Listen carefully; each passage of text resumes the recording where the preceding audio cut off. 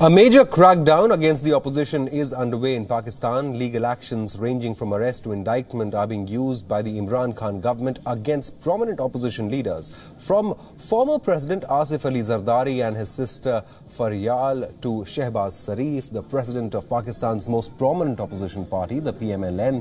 He is also the brother of former Pakistan Prime Minister Nawaz Sharif. Pakistan opposition will now be holding a joint meeting today in just a short while from now to address this unprecedented crackdown on the opposition in Pakistan by the Imran Khan government.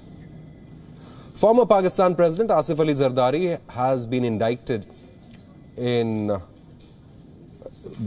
by the Imran Khan government and uh, his supporters are saying that the legal action is part of a wider campaign against the leaders standing in opposition to Prime Minister Imran Khan. Zardari is the husband of former Pakistan Prime Minister Benazir Bhutto, who was assassinated in 2007. He is currently a member of parliament and has served as president of the country from 2008 to 2013.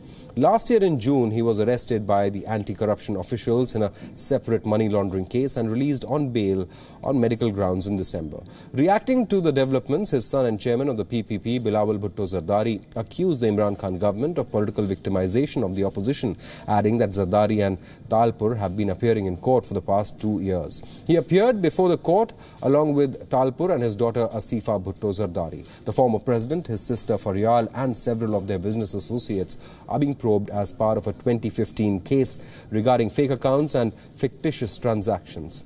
Besides Zardari, PMLN President Shehbaz Sharif has been arrested by Pakistan's National Accountability Bureau. His bail was rejected by the Lahore High Court in a money laundering case. A large number of PMLN supporters were at the court to support Sharif. Immediately after the arrest, a scuffle broke out between security personnel and supporters of the PMLN. Party spokesperson Maryam Nawaz criticized the move, claiming that the leader was arrested by the Accountability Bureau at the behest of the government of uh, Pakistani Prime Minister Imran Khan. She went on to suggest that Shehbaz being arrested right before the polls in Gilgit-Baltistan suggested a political move. Maryam alleged that the quote-unquote 58-volume document did not have Shehbaz's name anywhere and that the upcoming Gilgit-Baltistan polls were rigged.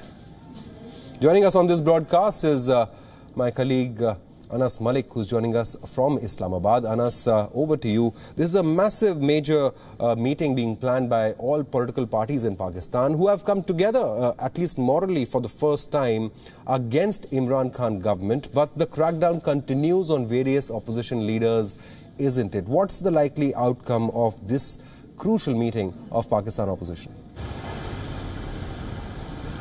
Absolutely a major crackdown that is currently ongoing against the opposition parties, those dissenting voices who are voicing their, uh, who are voicing against Imran Khan's government. This is what is the common perception here in Pakistan is that uh, anybody from the opposition who is critici criticizing the current Imran Khan regime is being put behind bars. And a latest example of that we saw yesterday when the leader of the opposition, Shehbaz Sharif, his his uh, interim bail was cancelled and then subsequently he was arrested. Today, the opposition parties would be holding a, a, a an emergency meeting of the joint opposition. Uh, they had devised a mechanism called PDM or the Pakistan Democratic Movement, which would be holding its quote-unquote emergency meeting, where they would be devising a way forward or a strategy, uh, as they had discussed in the recently held uh, uh all parties conference of the opposition parties that was held on the 20th of September. Now, the the whole the thrust of this meeting would be uh, to devise a strategy where they would be coming up with uh, with protest campaigns all across the country against the arrest of Shehbaz Sharif and against the Imran Khan regime, the currently in power Imran Khan regime. They would they're also like they would also be deliberating on multiple options, including mass resignation that can possibly lead towards an elections as well. This is this was uh, uh was said by Maryam Nawaz Sharif yesterday in her press conference. So today, an all-important meeting in about roughly in about an hour and a half from now uh, uh, at a nearby hotel that is to take place here in Islamabad, where the opposition parties would be deliberating and would further be devising a way forward on how to go about against the arrest of the opposition leader. Now, the opposition parties have also accused that this uh, this arrest that had uh, that had been done by the Accountability Bureau yesterday, it has nothing to do with quote unquote the the, the slogan of accountability, but by and large it is in a in a way to influence the upcoming Gilgit-Baltistan election, and that was reiterated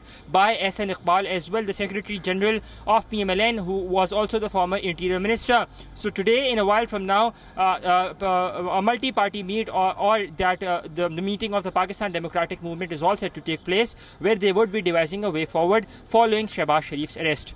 Yes, Shobit. Right. Anas, now, while these opposition parties have slammed Imran Khan, they have been more, even more critical about the Pakistan military's involvement in the political process of uh, Pakistan. They say that Imran Khan has come to power with the backing of the Pakistani military. They are now accusing the military of being directly involved in political process. We know that Pakistan Army Chief held a meeting, in fact, with certain political parties over uh, the status of Gilgit-Baltistan as well. And uh, several leaders, including Maryam Nawaz, were quite critical of that. So that seems to be a key uh, point of contention here, isn't it? They say, or some pundits say, that this crackdown on the opposition is also being influenced and backed by the Pakistani military. Well, uh, in a way, uh, the, uh, the the role of the Pakistani military has been heavily criticized over the past uh, few weeks uh, with regards to their quote-unquote meddling in uh, in the Pakistani politics. Uh, we saw uh, the former Pakistani Prime Minister, uh, the ousted Pakistani Prime Minister, alleging the role, alleging that the the current Pakistani government, the Imran Khan government, has been brought into power by the military, and he also spoke about the state within a state concept, and that's something that he was referring to that. Uh, in 2011, the former Prime Minister of Pakistan, Yusuf Raza Gilani, had also referred to as well. So, by and large, it has been heavily criticized the role of Pakistani military, though the military has been maintaining that they would they do not want to be associated by any ways, by any means, with the current political process or with the current political regime, given that their job is to quote unquote safeguard borders, and they have as I said, uh, this is what they have been maintaining that they have been requesting or asking the political leaders to keep them away from quote unquote their dirty politics. This is what have been maintained. But the role of military yesterday as well, Maryam Nawaz Sharif criticized them heavily uh, uh, as well. Uh, and then there have been some meetings that have that have hinted that uh, uh, that by and large that they that the military does it seems like that they would have to do something greatly even now to to do with the political structure. So, uh, something that Imran Khan wants to negate but by but in many ways he ends up reiterating the same given that they, he has been uh, blabbering about this mantra of being on the of the civil and military being on the same page.